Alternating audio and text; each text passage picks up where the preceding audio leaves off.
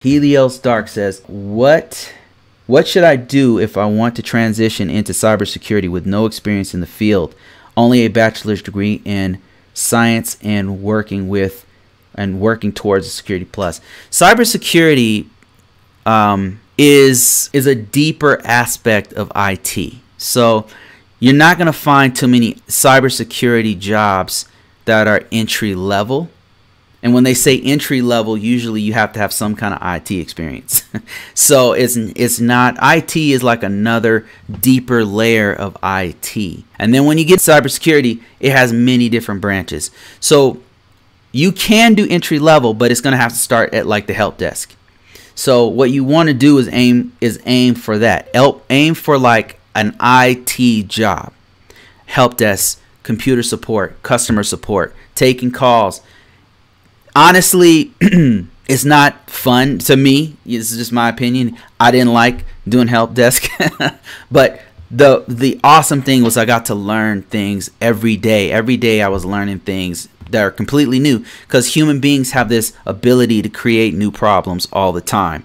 And so you're constantly having to figure out how to how to fix this new problem they've that they, that has manifested itself uh, at the help desk.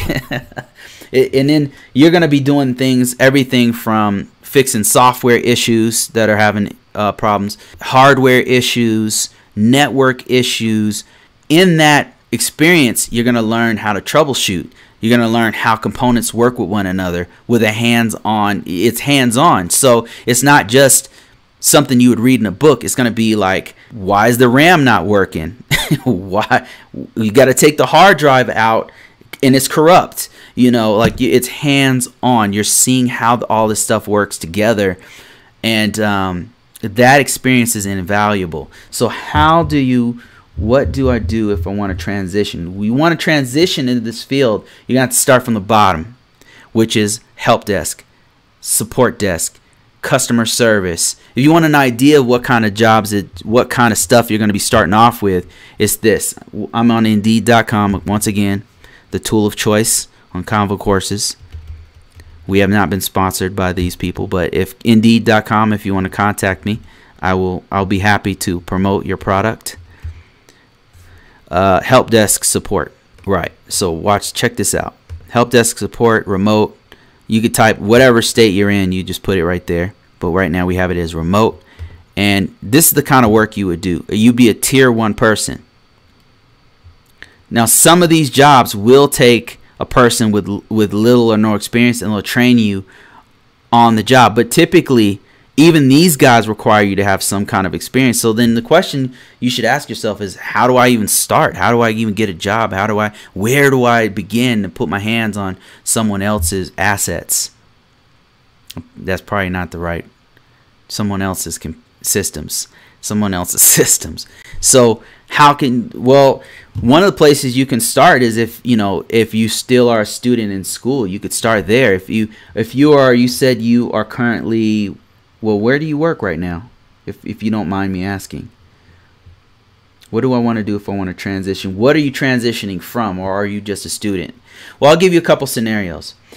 Let's say you're a student. You're going to University of of Boulder Colorado and you're studying in bachelor's degree in science right?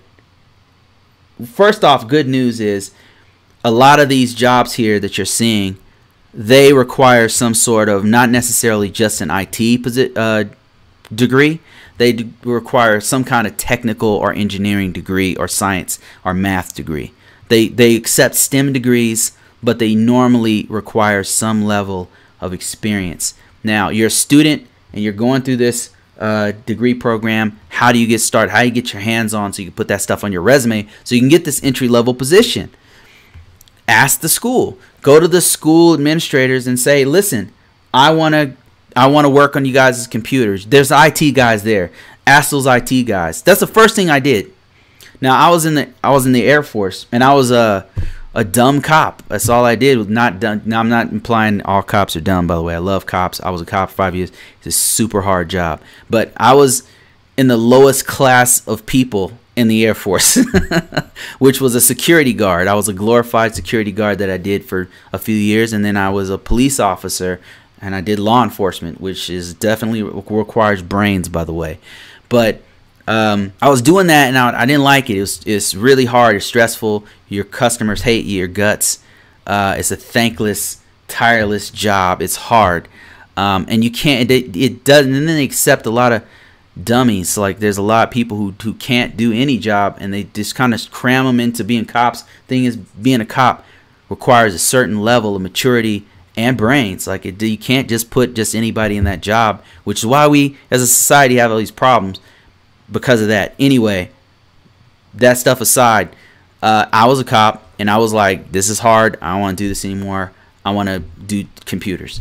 So I went to the computer guys on base and I talked to them. I said, "Hey guys, like I'm thinking about being uh, going into computers, right?" And they said, "Oh, information technology, yeah, it's a great, it's it's a good choice, you know." And I said, "Well, what is your job like?" I asked them basic questions. What is your job like on a day-to-day basis? And they told me. They walked me around. They walked me around the help desk and say, "Well, this is where we take do do trouble tickets. What's what's a trouble ticket?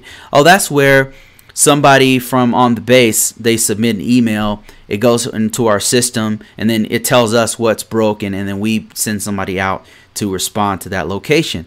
And i said oh do you guys do that? You guys go there? Do you guys program things? They're like no programmers that's a whole different career path. Right? He started breaking everything down to me. All my very simple questions to him he took the time to tell me here's the help desk programmers they they are a whole different career. They, they don't even do they're not even on this floor or in this building. They do something completely different than we do.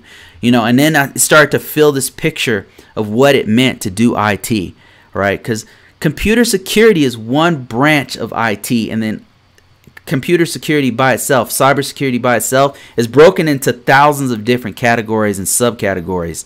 So when you ask me what how do you get into cybersecurity? Start from the bottom, which is information technology. If you're a student, ask the, the school. If you you said I work in biotech sector for uh, CRO, cool. Now this is awesome. So what you do is go to your company's uh, HR department, go to the IT guys, start with the IT guys, and just ask them, sit down or call them up and say, hey, I'm thinking about going into information technology you know is there how do i start? What's your job like? Would you recommend it? You know how, coming from this biotechnology technology biotechnology how do i get from here to there? They'll ask some people be happy to ask answer your questions because some people are intrigued that you even want to go from your career path to theirs you know? So they'll sit down you will find a geek who will sit down and answer all your questions Next step, because you might, after you talk to them, you might not even want to do it no more.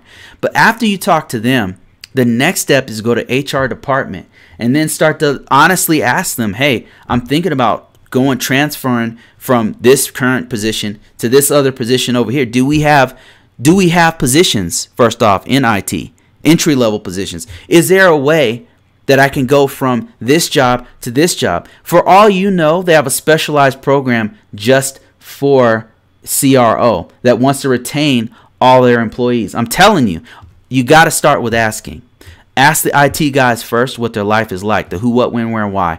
Who, uh, how did you start? Who, uh, who's your manager? Like, how do they, how does your manager work with you? Ask them all those kinds of questions to see what their life is like. Do you do shift work? How often do you guys, when do you guys come in in the morning? Those kinds of, you might not even want to do it no more, right? After you talk to them, right? So then after that, talk to the, you can talk to HR.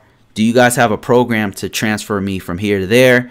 I want to get into information technology. Are there any? They'll give you like a careers list, maybe, or sometimes they'll have some kind of program where they're retaining employees and stuff like that. So that's what I would do in in your situation. And um, this is coming from somebody who's done the, that very thing. Like I went from one career path completely to another and and that's what I did and it worked.